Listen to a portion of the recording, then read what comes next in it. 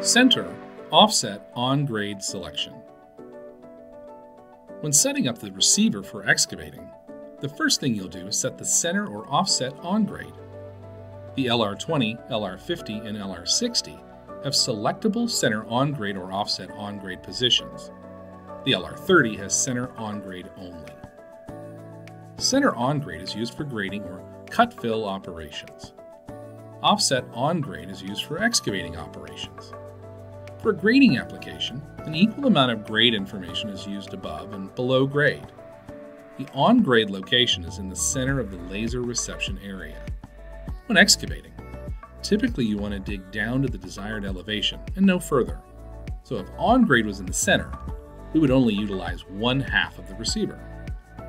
For excavating, the on-grade location is electronically moved to give more information and more grade display above grade.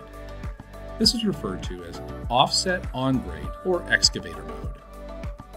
This is depicted on the buttons or LCD and on the back of the receiver label by an on grade bar with a larger arrow above and a smaller arrow below. The LEDs used in the different modes also change.